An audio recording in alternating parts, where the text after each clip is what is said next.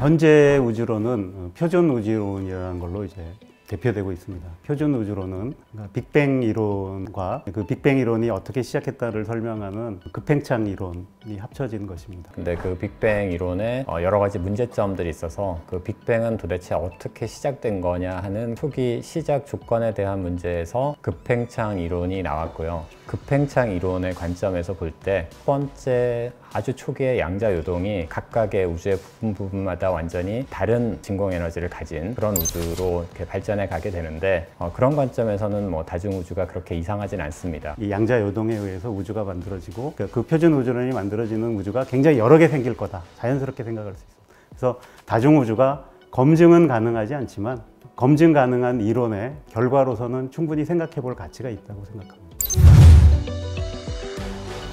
20세기 중후반에 이제 가장 중요한 문제는 어, 뭐 전자를 비롯해서 기본 입자의 질량이 어떻게 생겨날 수 있는가를 이해하는 거였는데요. 표준 모형에서는 힉스 입자를 도입해서 이 질량을 설명합니다. 진공에 힉스 장이라는 게 다 깔려 있어서 거기를 지나는 입자들은 질량을 이제 얻게 돼서 뭐 지금과 같은 모습을 보인다. 스위스 제네바에 그 입자 가속기를 건설해서 2012년에 비로소 힉스 입자가 존재하고 실제로 이론에서 예측한 그 입자라는 걸 확인했습니다. 입자의 생성이나 입자들이 어떻게 상호작용하느냐 이런 것들이 우주가 갖고 있는 대칭성하고 관련이 있습니다. 현대 물리학에서 시공간이 갖고 있는 대칭성이 있는데요. 이 대칭성에 따르면 입자들이 가질 수 있는 자석의 세기 혹은 스핀이라고 부르는 물리량이 있는데 이 양이 특정한 값만 가능해요. 그래서 스핀이 0, 2분의 1, 1 이런 식으로 특정한 값만 가능한데요. 이 중에서 스핀이 2분의 1인 입자들을 페르미 입자라고 부르고 이 입자들이 물질의 근원이 됩니다. 스핀 1인 입자, 아까 빛 입자를 말씀드렸는데 빛 입자를 비롯해서 다른 입자들이 힘을 매게 하는 그런 입자들이 됩니다. 그 근원을 묻는다면 현대 입자 물리학에서는 우주가 갖고 있는 대칭성 때문이다 이렇게 말씀드릴 수 있겠습니다. 아침에도 물을 한 잔씩 다 드셨잖아요. 근데 그 물을 구성하는 물 분자가 H2O라는 거는 이제 대부분의 사람들이 다 알고 있고 수소 원자 두 개, 산소 원자 하나. 근데 거기에 사실은 우주의 역사가 담겨 있어요. 수소라는 거는 우주가 처음 생겼을 때 빅뱅이라는 대폭발이라는 현상을 통해서 수소가 생겼고요. 산소라는 거는 별에서 생겼습니다. 그러니까 대폭발과 별, 사실은 우주의 모든 역사를 이루는 그 두 가지 중요한 요소인데요. 물질이 어떻게 생겼느냐라고 질문할 때 대폭발을 통해서 그리고 별의 진화를 통해서 생겼다라고 이제 간단하게 말씀드릴 수 있을 것 같아요.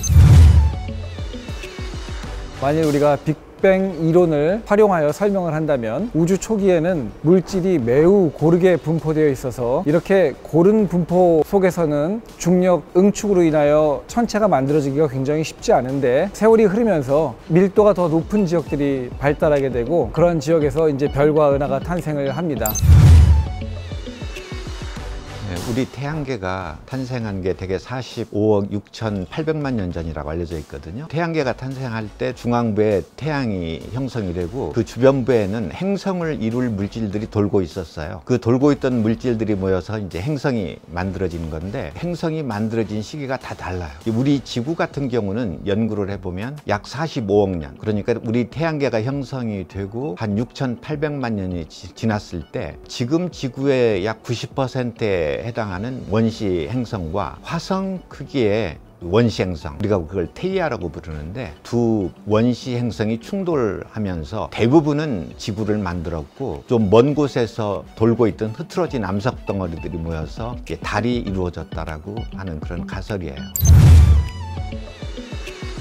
예, 생명의 기원에 관한 두 가지 설이 있어요. 하나는 우주 기원설이고요. 또 다른 하나는 자연 발생설입니다. 우주 기원설은 다른 우주에서 외계에서 아마 어, 생명의 씨앗이 지구에 날라와서 어, 지구에서 진화가 이루어졌다라는 주장이고 또 다른 하나는 이제 자연 발생설로 아마 아, 대부분의 생물학자들이 자연 발생설을 어, 지지하는 것 같아요. 아마도 지구에서 여러 가지 유기물들이 자연스럽게 만나서 합쳐지는 과정에서 자기 복제자가 만들어졌다라고 생각을 하고 있고요. 자기 자기 복제자는 아마도 RNA일 것 같습니다. RNA라는 비교적 불안정한 분자가 DNA라는 비교적 안정한 분자로 진화되지 않았을까라고 생각을 하고 있습니다. 모든 생물은 아, 공통적으로 DNA를 가지고 있습니다. 박테리아도 고세균도 사람이 포함된 진핵생물도 공통적으로 DNA를 가지고 있는데 그 DNA는 쭉 올라가다 보면 단 하나의 세포에서부터 시작했다. 그러한 DNA를 바탕으로 해서 이제 초기 원시 세포가 만들어지는 그 과정까지가 아마 생명의 기원이 아닐까 싶습니다. 여전히 이 부분은 어, 풀려져야 하는 미스테리가 남아 있고요. 연구가 되어야 할 그런 분야가 아닌가 생각이 됩니다.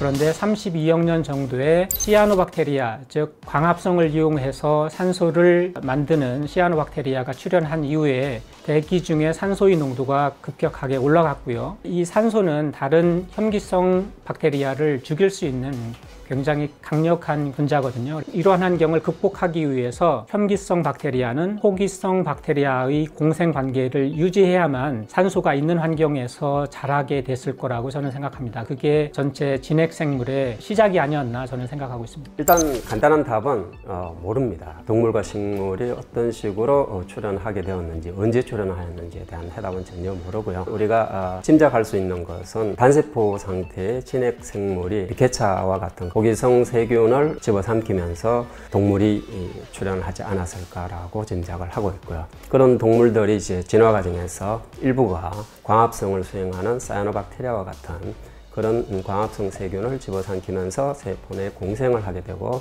그러면서 식물이 출현하지 않았을까라고 생각이 됩니다. 시나리오는 있지만 언제 어떻게 출현되었는지는 정확하게 사실은 모르는 상황이고 다만 분명한 것은 동물이 먼저 출현을 하였고 그 다음에 식물이 출현하였을 것이다 라는 건 분명한 사실인 것 같습니다.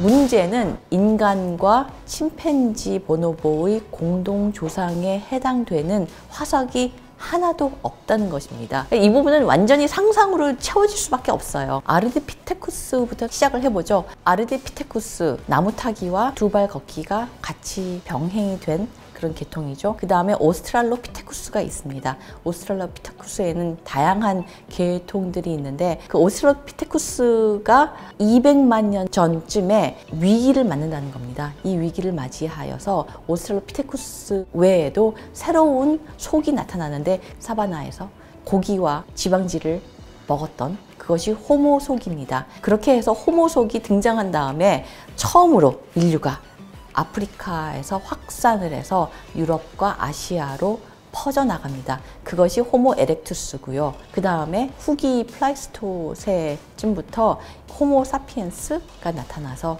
지금까지 계속되어 왔고요. 항상 우리 인류는 지구에서 여러 계통이 같이 살아왔는데 지금은 유일하게 하나의 인류만이 살고 있습니다. 호모 사피엔스입니다.